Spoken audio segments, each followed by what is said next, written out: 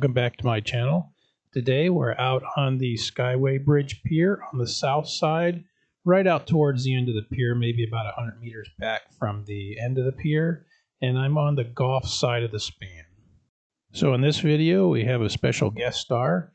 If you look in the video you will see a flounder that's down moving around on the foreground inside the picture. He's very well camouflaged so see if you can spot him in the video.